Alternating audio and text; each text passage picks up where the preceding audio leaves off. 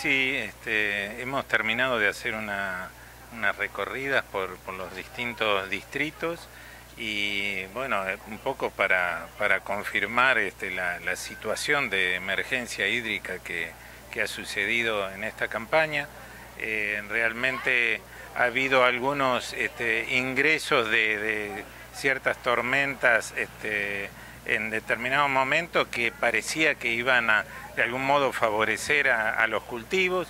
Los cultivos de primera están bastante complicados, este, algunos con una pérdida ya notable, este, y los cultivos tardíos están ahí este, muy jugados a la espera de una lluvia que posiblemente si la del día sábado eh, se, concreta puede llegar a, salvar de alguna manera este, algo de producción.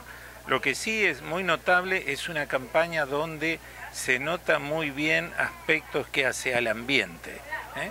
Este, en aquellos suelos que son profundos, que tienen capacidad de almacenar agua, este, si bien los cultivos han sufrido, va a haber rendimiento, un rendimiento mermado, pero va a haber un rendimiento este, bastante estable comparativamente con, con otras campañas. A medida que nos vamos a ambientes algo limitados o muy limitados, evidentemente este, los cultivos han sufrido mucho y este, se nota este, muy, muy bien visualmente el estado cómo, cómo ha cambiado, ¿no? entre una situación y otra y entre cultivos porque también es muy interesante, es una campaña que desde el punto de vista del productor va, va a ser eh, bastante complicada desde el punto de vista del estudio de los cultivos. Es muy interesante porque por un lado se ve el avance genético, por otro lado se ve cómo los cultivos, los distintos cultivos, que, gracias a Dios y desde el punto de vista agronómico del, sistema de producción,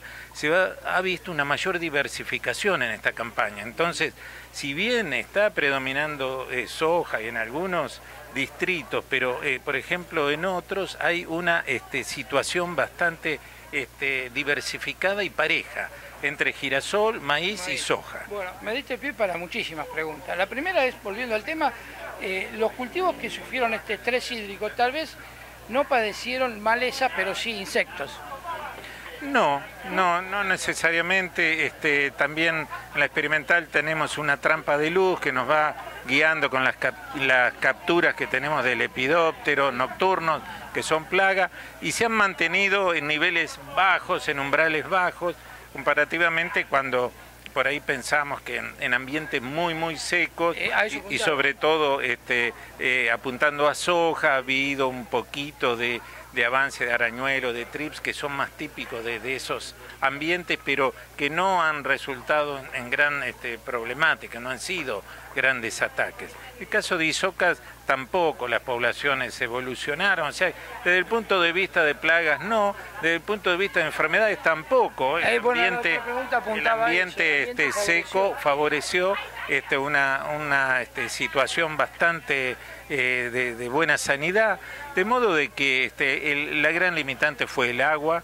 y, como decimos, este, se han diferenciado muchísimos ambientes, vamos a tener en algunos casos este, buenas producciones, en otros casos este, producciones muy bajas, este, eh, tirando a fracasos, digamos, de algunos cultivos. Horacio, Tres Arroyos siempre fue emblemático la zona por el trigo, pero en su momento el girasol fue preponderante. Cayó y ahora es como que está volviendo. Está volviendo, por suerte, porque es un cultivo muy interesante, que se adapta muy bien a la rotación con trigo.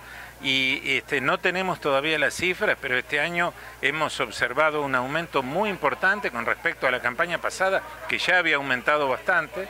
Este, también maíz, este, muy buena superficie de maíz, el maíz sembrado en, fecha eh, de octubre, pero también maíz tardío, maíz de noviembre que es una estrategia que usa el productor y que se usa a nivel de, metodología, de técnica de producción, porque corriendo un mes la fecha de siembra, nosotros hacemos que el periodo crítico del cultivo de maíz lo corremos a febrero, entonces salimos de ese bache que siempre tenemos en enero, este, entonces con una siembra de noviembre el periodo crítico va a febrero y en febrero, si bien tampoco llovió, este, la, demanda ambiental, la demanda este, atmosférica es menor. ¿eh? los días son más cortos, este, la temperatura no es tan alta, la evapotranspiración del cultivo no es tanto. Entonces logramos, si bien no logramos rendimientos potenciales, pero logramos estabilizar los rindes y seguramente vamos a tener mejores rindes esta campaña con maíces tardíos y no con los maíces tempranos. Finalmente, lo último con respecto a maíz, eh, ¿utilizaron la técnica eh, de bajar la densidad por hectárea? Otra cosa muy notable es que, que se ha visto muy bien este, no tanto en la zona subhúmeda como es este, Tres Arroyos, San Cayetano, sino este, hacia el oeste de Tres Arroyos y el partido Coronel Dorrego, que prácticamente no existía el maíz hace unos años, y hoy con este manejo de tecnologías, correr la fecha de siembra, como decíamos, y bajar la densidad, se están haciendo maíces que están llegando a niveles de 5 o 6 mil kilos. Este año también vuelve a darse el tema de, los distintos ambientes, pero más o menos este, la tendencia eh, sigue y es, una, es un, aporte interesantísimo para el sistema de producción porque el hecho de, poner maíz en, en esos sistemas los va a favorecer mucho a la larga. Muchas gracias. A ustedes, muchas gracias.